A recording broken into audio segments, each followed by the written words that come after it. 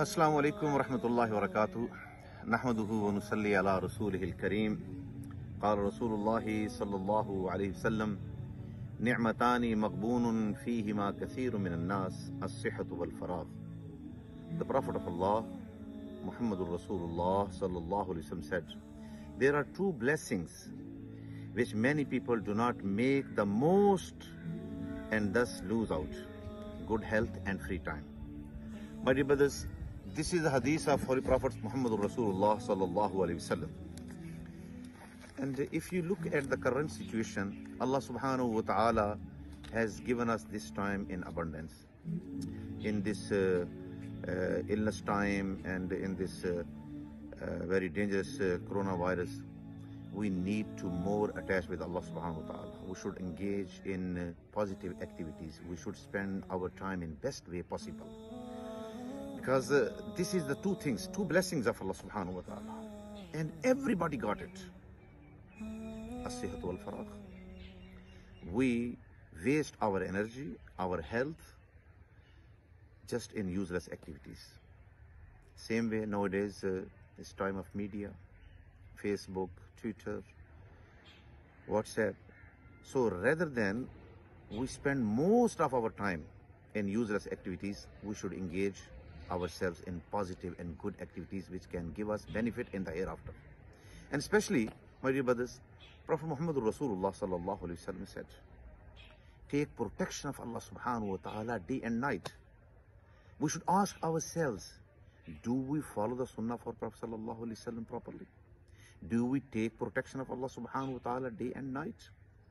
Like uh, Prophet sallallahu alaihi wasallam said, nothing can harm you if you recite three times in the morning, three times in the evening.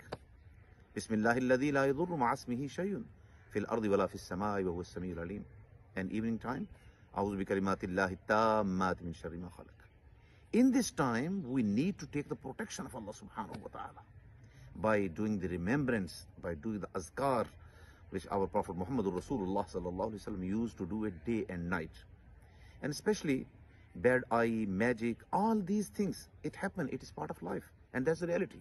And Prophet ﷺ used to recite Surah Al-Nas, Surah Al-Falaq and Qul Wallahu Ahad after every prayer. Only once and morning and evening. Fajr and Isha. Say three, three times. You get the protection of Allah subhanahu wa ta'ala.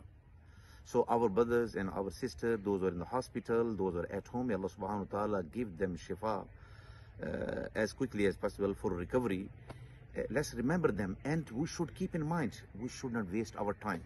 That's the best time for the families as a husband, as a father. If you're not going uh, at work or you're doing work at home, so you have best time to spend with your children. Check their prayer, check the azkar day and night, what we do morning and evening. Check the funeral prayer, you doing everything for them. Are they able to perform the funeral prayer for you?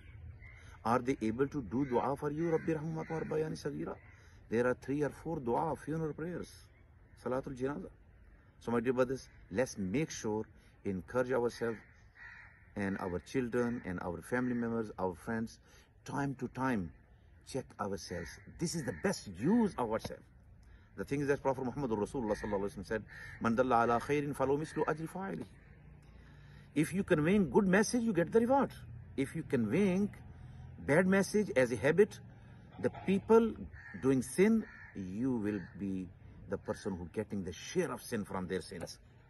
So may Allah subhanahu wa ta'ala protect you. May Allah subhanahu wa ta'ala give us tawfiq to follow the sunnah of the Prophet sallallahu alayhi wasallam. And in this way we can get the blessing of Allah subhanahu wa ta'ala and protection of Allah subhanahu wa ta'ala as well.